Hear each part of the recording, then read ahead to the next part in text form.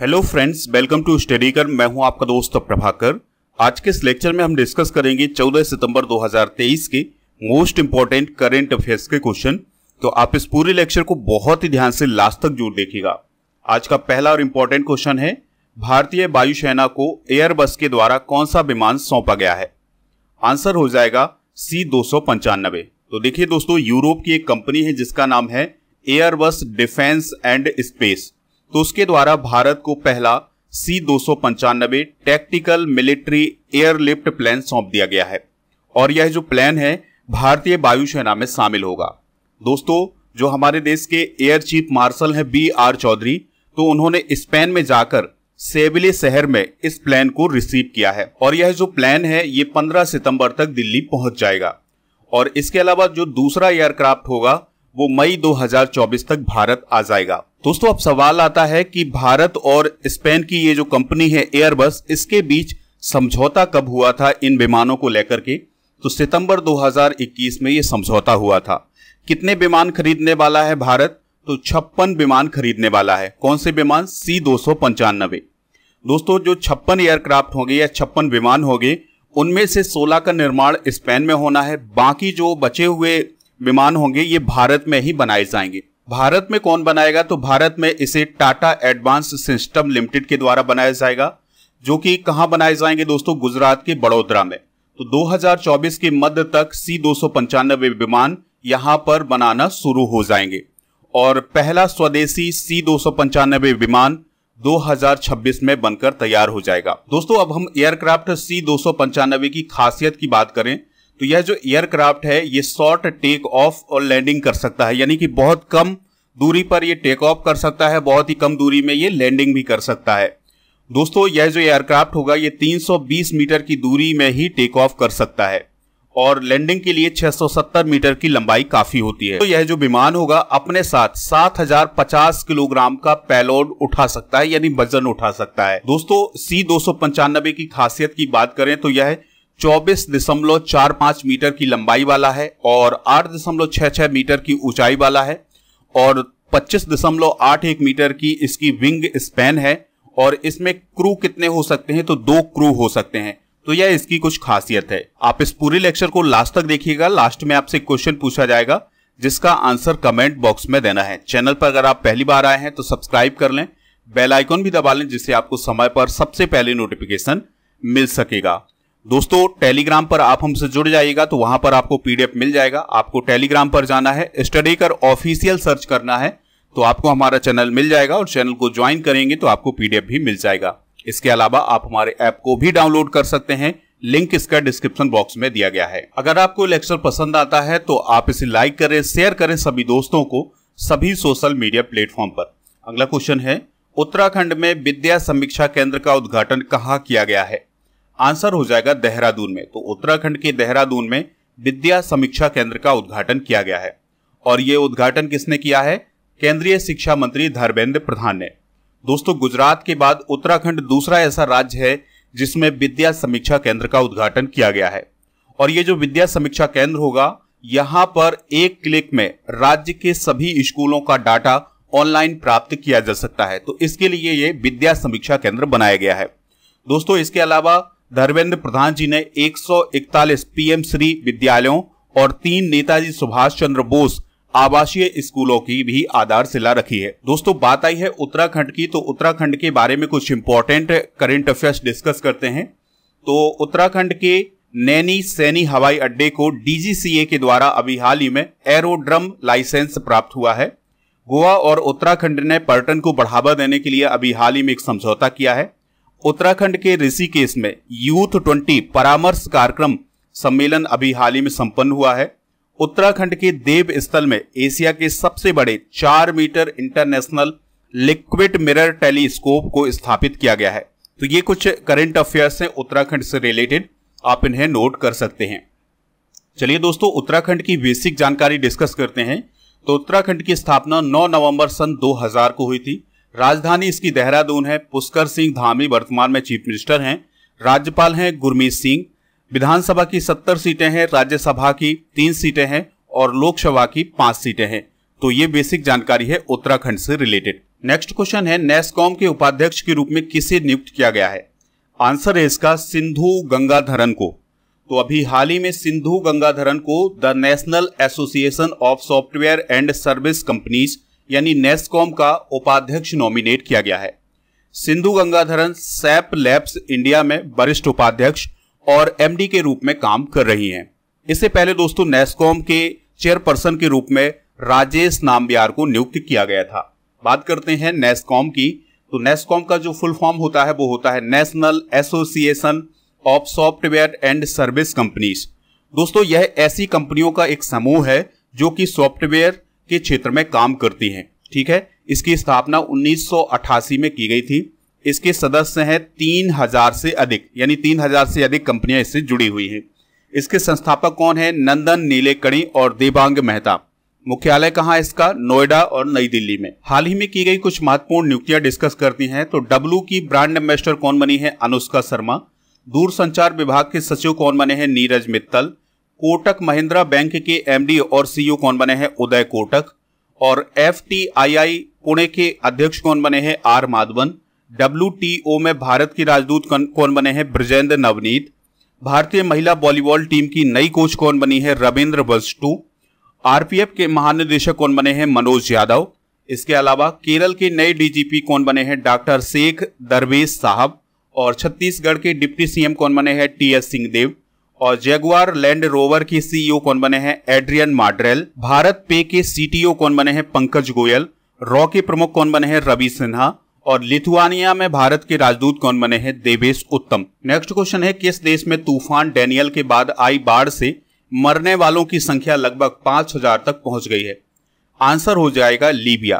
तो दोस्तों, Africa continent का एक देश है लीबिया। वहाँ पर बहुत अधिक मात्रा में बाढ़ आई है, जिसके कारण पाँच हज़ार से अधिक लोगों की वहाँ पर मौत हो गई है।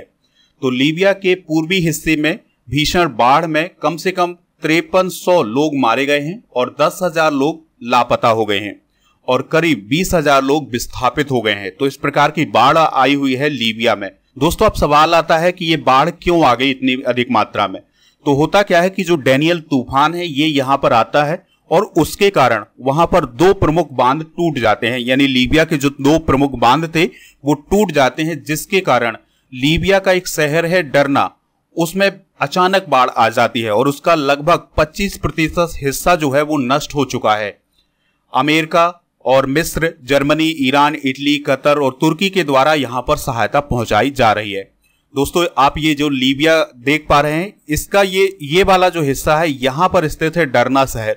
और यहाँ पर दो बाँध बने हुए थे, जो ये टूट जाते हैं, जिसके कारण यहाँ पर बाढ़ आ जाती है।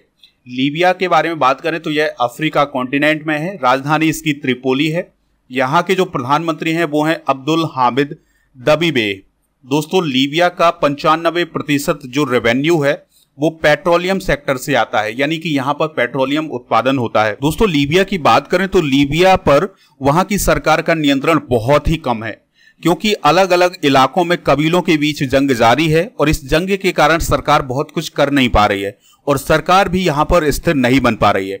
दोस्तों 2011 में यहाँ का जो तानाशाह था गद्दाफी वो मारा जाता है। इसके बाद स्थिर सरकारें नहीं आ पा रही, जिसके कारण यहाँ पर डेवलपमेंट भी नहीं हो पा रहा है। दोस्तों, यहाँ पर आप लीबिया को विश्व के मैप में देख सकते हैं, ये अफ्रीका कॉन्टिनेंट है और यहाँ पर स्थित है लीबिया। कुछ important international current affairs discuss करते हैं। तो अभी हाल ही में उत्तर कोरिया ने नई सामरिक परमाणु हमला पनडुब्बी लॉन्च की है।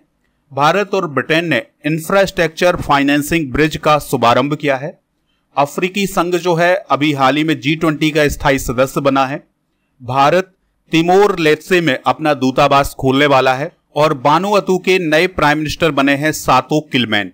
जॉर्जिया, जो कि अमेरिका का एक राज्य है, वहाँ पर अक्टूबर माह को हिंदू हेरिटेज मंथ घोषित किया गया है। तो ये कुछ इंपॉर्टेंट इंटरनेशनल करेंट अफेयर्स हैं।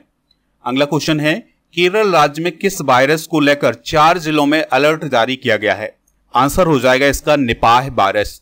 तो दोस्तों, केरल के कोजिकोट में निपाह वायरस से दो लोगों की मौत के बाद तीन और जिलों, कन्नूर, वायनाड और मलप्पुरम में अलर्ट जारी किया गया है। कोजिकोट में तो पहले से अलर्ट था तो इन चार जिलों में निपाह वायरस को लेकर के अलर्ट जारी किया गया है। 2018 की बात करें तो कोझीकोड और मलप्पुरम में निपाह से 17 लोगों की मौत हो गई थी। दोस्तों, बात करते हैं निपाह वायरस की। तो निपाह वायरस चमगादड़ और सुअर जैसे जानवरों से इंसानों में फैल सकता है। इसके लक्षण क्या होते हैं? तो सिर दर्द, उल्टी, सांस लेने में तकलीफ़ और चक्कर, ये इसके लक्षण होते हैं। निपाह का पहला मामला उन्नीस में मलेशिया के सुंगई निपाह गाँव में मिला था। इसलिए इसका नाम निपाह वायरस रखा गया है।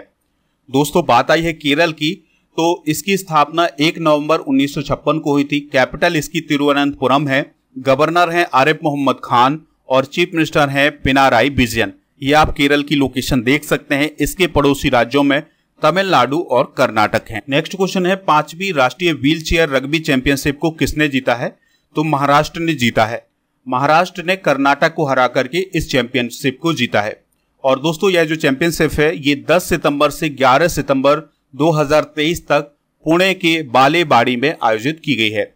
बिहार ने हरियाणा को 23 नौ से हराकर के तीसरा स्थान हासिल किया था। यानी पहला स्थान महाराष्ट्र का, दूसरा कर्नाटक का और तीसरा स्थान बिहार का रहा है। दोस्तों, बात आई है स्पोर्ट्स की तो स्पोर्ट्स से रिलेटेड कुछ इंपॉर्टेंट करेंट अफेयर्स डिस्कस करते हैं। तो भारत के किरण जॉर्ज ने अभी हाल ही में इंडोनेशिया बैडमिंटन मास्टर्स का खिताब जीता है। विराट कोहली वनडे में सबसे तेज तेरह हज़ार रन बनाने वाले खिलाड़ी बने हैं। कनाडा की डेनियल मैकगेही पहली ट्रांसजेंडर क्रिकेटर बनी है। मैक्स बैरस्टेपन ने अभी हाल ही में इटालियन ग्रैंड प्रिक्स 2023 का खिताब जीता है। दोस्तों, अभी हाल ही में डूरंट कप 2023 का जो फाइनल है, ये किसने जीता है? मोहन बागान ने जीता है। फीफा ने श्रीलंका फुटबॉल महासंघ के प्रतिबंध को अभी हाल ही में हटा दिया है। नेक्स्ट क्वेश्चन है, US news and world report के द्वारा जारी दुनिया के सर्वश्रेष्ठ देशों में भारत की रैंकिंग क्या है? तो भारत की तीस रैंकिंग है। तो इस रिपोर्ट में भारत की रैंकिंग में एक पॉजिटिव बदलाव आया है। तो सतासी देशों की लिस्ट में भारत तीसवें स्थान पर पहुँच गया है, जबकि 2022 में भारत की जो रैंक थी, वो थी इकतीस। दोस्तों, स्विट्जरलैंड जो है, वो US news and world report की वार्षिक रैंकिंग में दुनिया का सर्वश्रेष्ठ देश बना है। कनाडा दूसरे नंबर पर है, स्वीडन तीसरे नंबर पर, ऑस्ट्रेलिया चौथे नंबर पर और अमेरिका पाँचवें नंबर पर है। अगर हम भारत और भारत के पड़ोसी देशों की बात करें तो चाइना की जो रैंक है वो है बीस, इंडिया की तीस रैंकिंग है, श्रीलंका की चौवनवी रैंक है, बांग्लादेश की उनहत्तरवीं रैंक है और म्यांमार की अस्सीवीं रैंक है। दोस्तों 2023 के कुछ प्रमुख सूचकांक डिस्कस करते हैं। जैसे जेंडर गैप रिपोर्ट 2023 में भारत की रैंक एक सौ सत्ताईस, चुनावी लोकतंत्र सूचकांक 2023 में 108 वर्ल्ड हैप्पीनेस इंडेक्स 2023 में 126 अंतर्राष्ट्रीय बौद्धिक संपदा सूचकांक 2023 में 42 भ्रष्टाचार धारणा सूचकांक 2022 में पचासी, हैनेले पासपोर्ट इंडेक्स 2023 में 80 ग्लोबल फायर पावर इंडेक्स 2023 में चौथी और विमानन सुरक्षा रैंकिंग 2023 में भारत की 55 रैंक है। अगला क्वेश्चन है, रुद्र बीणा के प्रतिपादक कौन थे जिनका हाल ही में निधन हो गया है? आंसर हो जाएगा अली जकी हैदर। तो दोस्तों, अली जकी हैदर जो थे, वो रुद्र बीणा के प्रतिपादक थे तो उनका भी हाल ही में निधन हो गया है। तो प्रसिद्ध रुद्र बीणा प्रतिपादक उस्ताद अली जकी हैदर का नई दिल्ली में निधन हो गया है। अली जकी हैदर द्रुपद के जयपुर बीनकर घराने की खंडरबानी शैली के अंतिम प्रतिपादक थे। अब बात आती है कि ये रुद्र बीणा क्या है? तो दोस्तों, आप ये जो देख सकते हैं, इस प्रकार की जो बीणा होती है, उसे रुद्र बीणा कहा जाता है। और इसके प्रतिपादक कौन थे? उस्ताद अली जगी हैदर। दोस्तों, हाल ही में हुए कुछ प्रमुख निधन डिस्कस करते हैं। तो हिंदुस्तानी गायिका मालिनी राजुरकर का निधन हुआ है। कार्टूनिस्ट अजीत निनन का निधन हुआ है। एसपीजी के निदेशक अरुण कुमार सिन्हा का भी अभी हाल ही में निधन हुआ है। वैज्ञानिक एन वलार मथी का निधन हुआ है। जिम्बाब्वे के क्रिकेट के पूर्व कप्तान हीत स्ट्रीक का निधन हुआ है। तमिल अभिनेता आर एस शिवाजी का निधन हुआ है और भारतीय अंग्रेज़ी कवि जयंत महापात्रा का भी अभी हाल ही में निधन हुआ है। नेक्स्ट क्वेश्चन है, गोपाल बागले किस देश में भारत के हाई कमिश्नर बने हैं? आंसर हो जाएगा ऑस्ट्रेलिया। तो दोस्तों, विदेश मंत्रालय ने गोपाल बागले को ऑस्ट्रेलिया में भारत का अगला हाई कमिश्नर नियुक्त किया है। बागले की बात करें तो वो उन्नीस बैच के आईएफएस ऑफिसर हैं। वर्तमान में श्रीलंका में भारत के हाई कमिश्नर के रूप में काम कर रहे थे। बागले पाकिस्तान में भारत के उप उच्चायुक्त के रूप में भी काम कर चुके हैं। दोस्तों, अब हम कुछ भारतीय राजदूत और हाई कमिश्नर डिस्कस करते हैं। तो नामांग्या खम्पा सोमालिया में भारत की राजदूत बनी है। डॉक्टर सुमित सेठ पनामा में, अमेरिका में तरनजीत संधू, जापान में सीबी जॉर्ज, बांग्लादेश में प्रणय वर्मा, भारत के हाई कमिश्नर हैं। ग्रीस में रुद्र टंडन ईरान में रुद्र गौरव श्रेष्ठ और सामोआ में नीता भूषण भारत की राजदूत बनी है। यहाँ पर बात आई है ऑस्ट्रेलिया की तो ऑस्ट्रेलिया की जो कैपिटल है वो है कैनबरा। यहाँ के जो सम्राट है वो है चार्ल्स तृतीय, गवर्नर जनरल है डेविड हर्ले और प्रधानमंत्री हैं एंथनी अल्बनीज। नेक्स्ट क्वेश्चन है आयुष्मान भव अभियान भारत सरकार की किस मंत्रालय के द्वारा शुरू किया गया है? तो स्वास्थ्य मंत्रालय, यानी मिनिस्ट्री ऑफ़ हेल्थ के द्वारा इसे शुरू किया गया है। इसका उद्घाटन किसने किया है? तो इसका उद्घाटन राष्ट्रपति द्रौपदी मुर्मू जी के द्वारा किया गया है। इस अभियान का उद्देश्य क्या है? तो देश के हर गाँव और शहर तक पहुँचने वाली स्वास्थ्य सेवाओं की अधिकतम कवरेज प्रदान करना। दोस्तों, चलिए अब हम कल के करंट अफेयर्स को रिवाइज करते हैं। फिर इसके बाद जनरल नॉलेज के पिटारे को डिस्कस करेंगे। लास्ट में आपसे क्वेश्चन पूछेंगे, जिसका आंसर कमेंट बॉक्स में देना है। तो कल का पहला क्वेश्चन है, संदीप बख्शी फिर से किस बैंक के एमडी और सीईओ बने हैं? आईसीआईसीआई बैंक के। किस राज्य में कलेगनार, मगलिर, उरीमई, थोदई ठिट्टम योजना की शुरुआत की गई है तमिलनाडु में? विजयवाड़ा रेलवे स्टेशन किस राज्य में है, जिसे ग्रीन रेलवे स्टेशन सर्टिफिकेट प्राप्त हुआ है आंध्र प्रदेश में? सैफ अंडर 16 चैंपियनशिप 2023 का खिताब किसने जीता है? भारत ने। डेनिस ऑस्टिन का निधन हो गया है। वह किस सॉफ्टवेयर के सह निर्माता थे? M S PowerPoint Patna विश्वविद्यालय के व्हीलर सीनेट हाउस का नाम किसके नाम पर रखा जाएगा? जयप्रकाश नारायण के नाम पर। भारत ब्रिटेन की बारहवीं आर्थिक और वित्तीय वार्ता कहाँ आयोजित हुई है नई दिल्ली में? एडीआर की रिपोर्ट के अनुसार सबसे अधिक किस राज्य के सांसदों पर आपराधिक मामले हैं? केरल के। अहमदाबाद में किस देश से आए 108 प्रवासियों को नागरिकता प्रदान की गई है पाकिस्तान? इंडोनेशिया मास्टर्स 2023 में पुरुष एकल का खिताब किस खिलाड़ी ने जीता है? तो किरण जॉर्ज ने जीता है। दोस्तों, आज के जनरल नॉलेज के पिटारे में हम डिस्कस करेंगे प्रमुख वाद्य यंत्र और उनके बादक, जैसे उस्ताद बिस्मिल्ला खान सहनाई से रिलेटेड हैं हरि प्रसाद चौरसिया बांसुरी से, पंडित रविशंकर सितार से, उस्ताद जाकिर हुसैन तबला से पंडित शिव कुमार शर्मा संतूर से, उस्ताद असद अली खान बीड़ा से, अमजद अली खान सरोद से, टी एच विनायक्रम घट्टम से, रमनद वी राघवन मृदंगम से, पंडित राम नारायण सारंगी से सकूर खान सारंगी से, अली अकबर खान सरोज से, अन्नपूर्णा देवी सुर बहार बास सितार से और M S Gopal Krishnan violin से रिलेटेड है। और इसके अलावा यू श्रीनिवासन मंडोलिन से, ब्रजभूषण काबरा गिटार से विश्व मोहन भट्ट वीणा से, तोताराम शर्मा तबला से और अल्लाह रखा तबलागी से रिलेटेड हैं। दोस्तों, कल के करंट अफेयर्स में जो क्वेश्चन पूछा गया था, उसका आंसर था आईसीआईसीआई बैंक। तो इसका आंसर लगभग सभी लोगों ने आईसीआईसीआई बैंक दिया हुआ है।